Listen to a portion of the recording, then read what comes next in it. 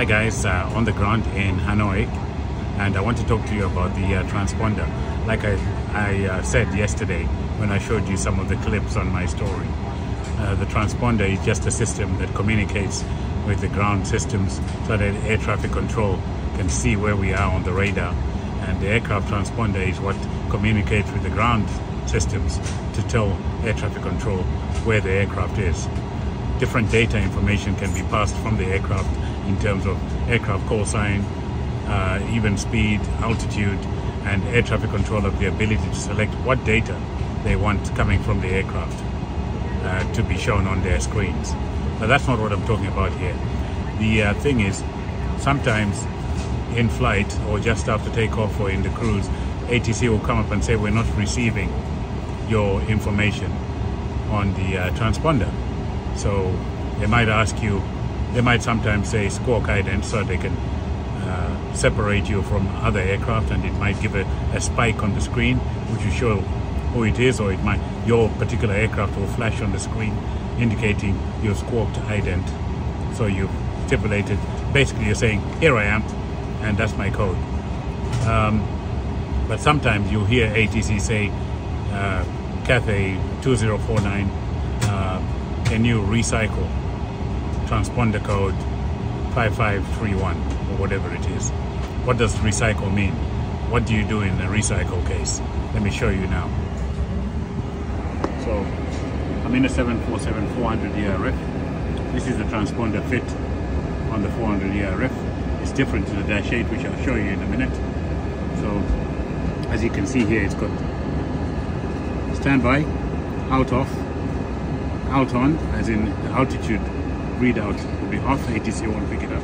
Altitude is on, TA, traffic advisory only for the TCAS and this one is TARA, traffic advisory and resolution advisory. In other words, you get traffic advisory and it will also tell you what to do, climb, descend, maintain vertical speed or whatever.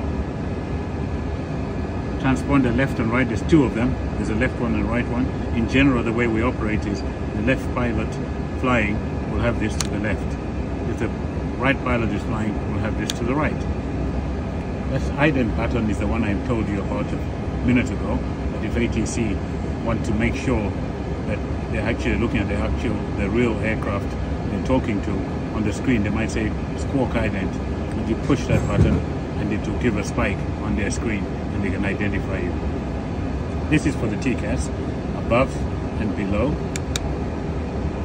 So in general, for takeoff and climb, we leave it in above. So the TCAS is scanning above your flight path and looking above you as you climb towards other aircraft and will pick up other aircraft descending towards you. Below we'll then pick up the aircraft that's climbing towards you and any aircraft below you as you descend. Or you can leave it normal. What this does above and below just gives you a wider range up to 7,000 feet. Some systems, I believe, up to 9,000 feet. If I go below, it will scan 9,000 feet below. But generally 7,000 and 7,000 above. And the normal is 2,000 above and 2,000 below in terms of the TCAS scanning for other aircraft.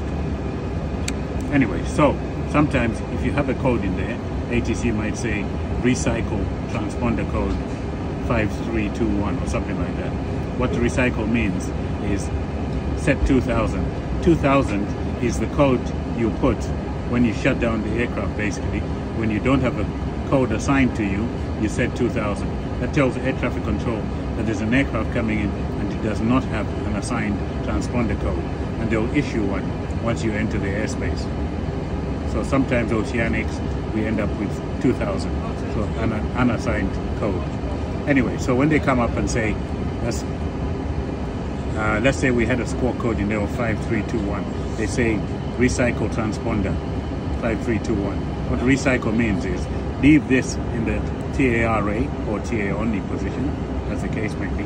We generally fly always in TARA, sometimes TA if you've got a malfunction, but generally TARA.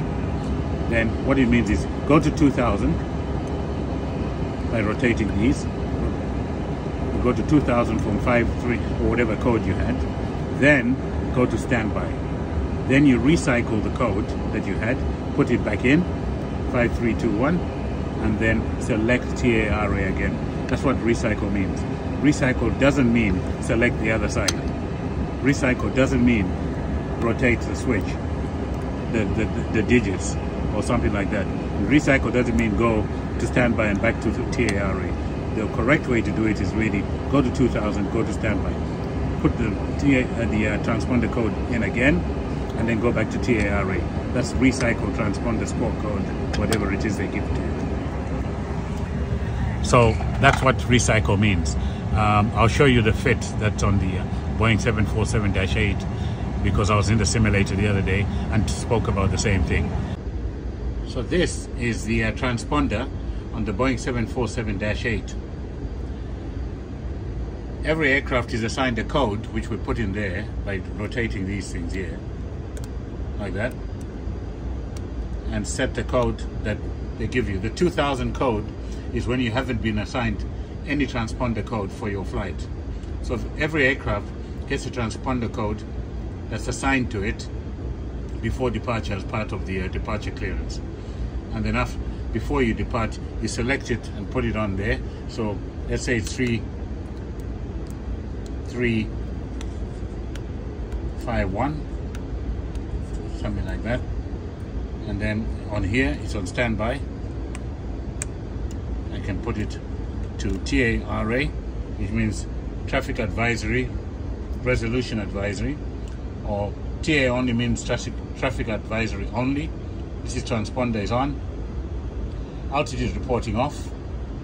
We never use any of those, but standby is obviously the one you finish. At the end of the flight, the transponder code that you're given is recycled. So that's why I've been telling you about recycling. So it's recycled.